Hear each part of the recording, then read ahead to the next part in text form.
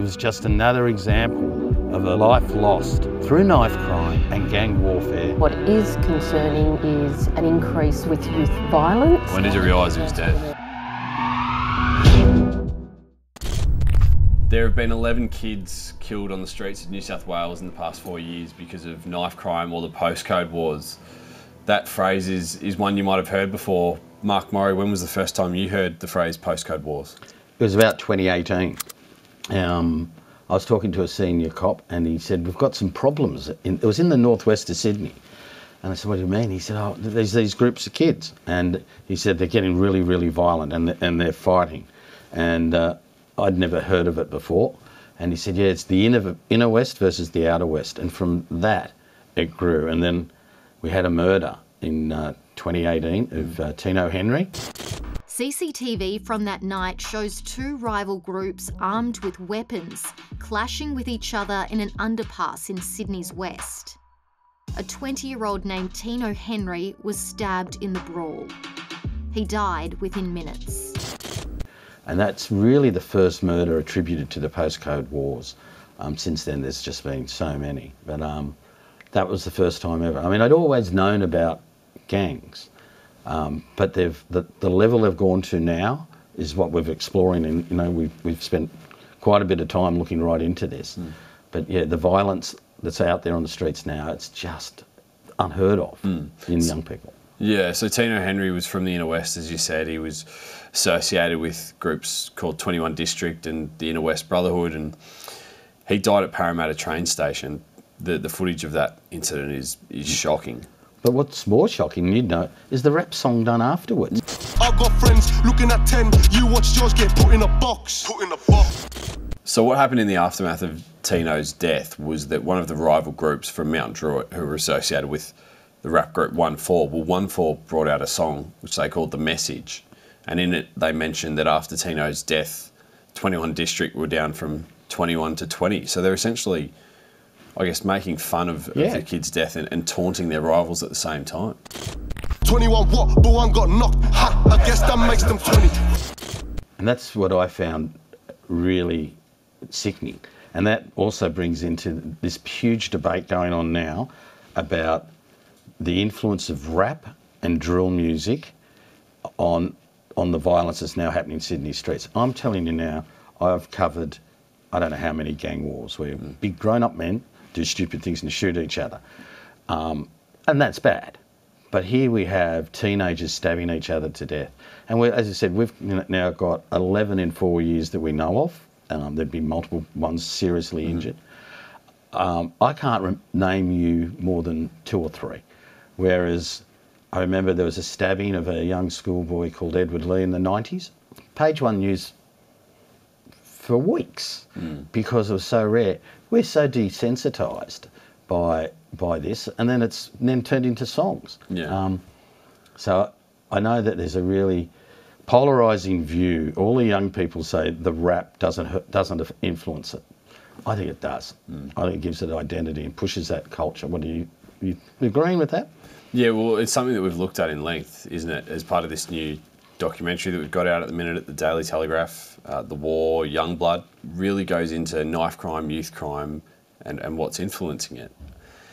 I think um, it's an interesting discussion around rap music because what, what we're seeing in the lyrics is so much violence.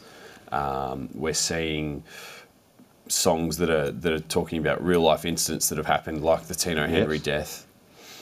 Uh, but the problem comes when you have adolescents who can't distinguish between what is simply a song and, and what is almost a, I guess, a call to arms, if that's yeah. the way they see it. And so that's where the issue comes, and you have rappers who are defending it. I know we speak to um, one rapper, Big Cash, yeah. who, who says there's a difference between telling your story and, and egging on violence. And I think that's that's a, a really fair point. That the, the trouble is, and this is where the issue comes as to who's to blame. But the trouble is that a lot of these kids can't tell the difference. Differentiate. And so they're hearing these songs and, and they're using it as a, a, call to arms and thinking that that's what you have to do if you want to get into music, if you want yeah. to have a reputation on the streets, you have to go out and, and commit crimes. Well, I know One Four have a real problem mm-hmm. trying to do live music because Raptor The police. are all over them Yep. because they ring up the venues and say you're going to need super heavy security, you're going to need so many police, and it's user pays a lot of the time. Mm-hmm. So it makes it life very hard for them because they're worried there's going to be conflict at these these concerts. So, and I know that they are even thinking of contacting some of the providers of these songs and trying to say they want certain songs banned, hmm. which is censorship, and they don't want to do it easily. But they, the correlation between that, I think, is just undeniable, and I'm, you know, and I, I think something's got to be done. But telling somebody that they can't sing a song is pretty pretty radical, Yeah, and that's where the real problem lies. Yeah. And it's getting the artist. What What's the biggest thing that you've learned out of us doing this uh, documentary and investigation? the big difference is what we're seeing now is, as you said, the knives, carrying knives. It's just, it's gone to a, a, a massive culture now where young guys are carrying knives on a regular basis. It's like packing your mobile phone to go out. They're taking a knife with them because they're saying, oh, they've got to defend themselves. Hmm. But likewise, it, it, it's what adds and escalates conflict. So what I've seen is knives in use, uh, in, which I'd never seen before. Someone carrying a knife, just even 10 years ago, was not a common thing. Hmm. Here we have it really, whether they go out and got three days, got 50 knives hmm. In one weekend here in Western Sydney. Yeah. So that's that's the big. There's multiple multiple problems. All these um, joining gangs, getting territorial, and then you they're not having a, a punch up. Someone's pulling a knife, which we saw at the Easter show. Two rival groups trade blows. Knives on show at the Royal Easter Show in a violent brawl that left a teenager dying on the ground. The most horrific thing I think Sydney's probably witnessed to have a video at the Royal Easter Show, which is for families, having a 17 year old guy stabbed to death and videoed. Hmm. And then it still took them months to get arrested because no one would give up anybody, Yeah. teenagers. So it's the hardening criminal aspect of teenagers, both with knives and then the culture of not talking. Yeah. For me, for me, it is just how almost inescapable I think it is for a lot of kids. You know, they're getting into this when they're primary school age, which is you know an age where I think most of us were starting to get into sports and you know playing footy, whatever it may be, and that was kind of our escape for many of these kids. It seems, and you know, I went out to, to Doonside and stood on the, the street with some, well, down a back alleyway with some kids Yeah, who sort of. who, who have been caught up in that. A week earlier, they said they'd been chased by a rival gang with machetes and knives, um, and, and it's just kind of what they grew up think, with. I don't think I'd like to go out to any of those areas late at night. No, Do, did you feel uncomfortable at all? N- oh, Would you have been, felt uncomfortable on your own? yeah, maybe on my own. Yeah. I mean, I think it was you know obviously we'd um, we- we'd found those guys and they were they were Reasonable. They were Yeah, reasonable. they they, seem were, they were good kids, you know. But the trouble the trouble comes when and we saw an incident where a bunch of kids got off the train at, at a train station wearing a school uniform from somewhere across town.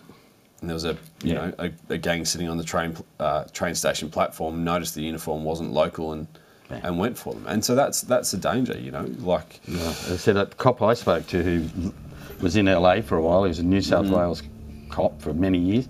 He said this just smells to him of the Bloods and the Crips, Mm. which is what kicked off massive gang violence in the states. Yes. The forerunner. Yeah. And he's seen the same pattern here, and that's pretty scary it is. because that is what leads to you know machine gun spraying drive-bys. And if we're at the beginning of that, we've got a real problem, and it's not a police problem. You don't just say, "Oh, the coppers have got to fix it." It's got No. to start way earlier, as you say, primary school. You've got to stop them Yeah. at primary school, getting to even thinking about joining gangs, and that's a real problem. Yeah, absolutely.